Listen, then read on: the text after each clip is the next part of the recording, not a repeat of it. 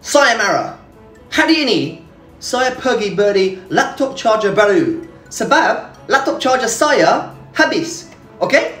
Bila saya sampai ke laptop shop, tak buka sebab tak essential. Next to the laptop shop, ada bubble tea shop. Buka! Macam mana? Bubble tea, essential, laptop charger, tak essential? Unbelievable.